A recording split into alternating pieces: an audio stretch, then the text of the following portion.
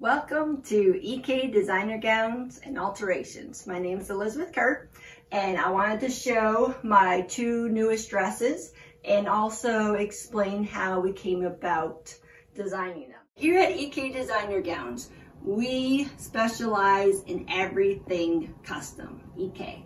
If you fell in love with this dress and you are not in love with the sleeves and you wanted to add more poof or whatever, like every detail that you want, and then we make the change. For this dress, um, we actually originally found a picture online. We're like, oh, we love it. Let's recreate it, add off the shoulder straps. And we also wanted to add a layer of glitter tulle.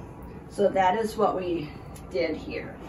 But first of all, we did, we went off of the picture and we drew out our sketch and said, let's make some changes to it.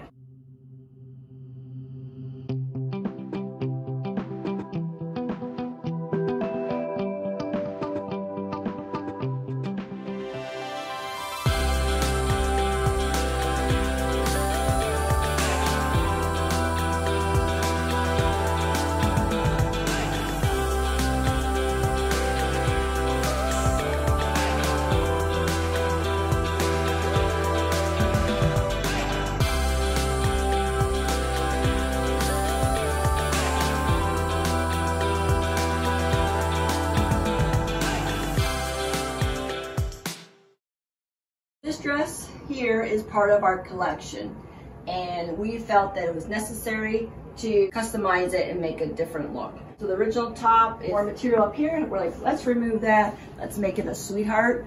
And of course, let's do straps. You can always remove them if you wanted to. Change the top and this is how we did it.